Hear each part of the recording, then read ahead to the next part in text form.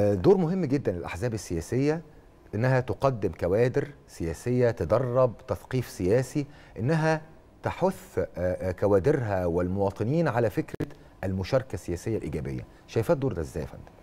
هو طبعا أصبح دور الأحزاب السياسية في مصر يعني بيشهد زخم كبير ومشاركة فعالة أكتر خاصة في السنوات اللي فاتت. إحنا شفنا إن دور الأحزاب بقى فعال أكتر في الشارع المصري.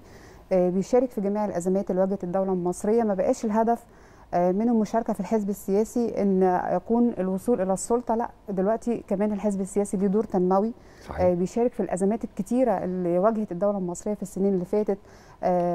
طبعا زيها زي بقية دول العالم من أزمات اقتصادية خاصة كمان الدولة المصرية بتواجه أزمات وتحديات سياسية وتحديات للحفاظ على الأمن القومي. كل ده بتقوم بمشاركة يعني الأحزاب السياسية بتشارك في كل ده بطريقة منظمة وممنهجة من قبل تفعيل الوعي السياسي لفئات المجتمع المختلفة وخاصة الاهتمام بالشباب والمرأة لأن هي الفئة الأكثر في المجتمع المصري. المجتمع المصري أكثر من 60% منه فئة شبابية.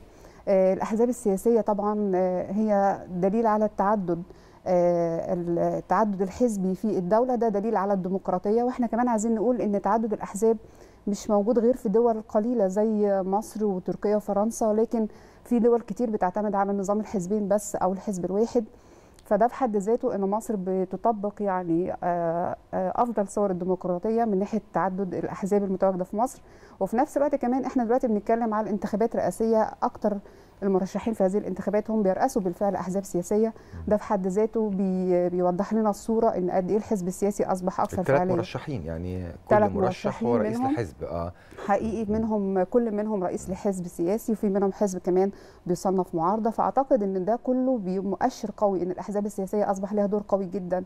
في المشاركة الفعالة سياسيا. ما أصبحش الحزب مقتصر على قيادة بهدف الوصول إلى السلطة لا أصبح في زخم حقيقي في الشارع المصري لأن المشاركه السياسيه لها يعني أشكال كتيرة.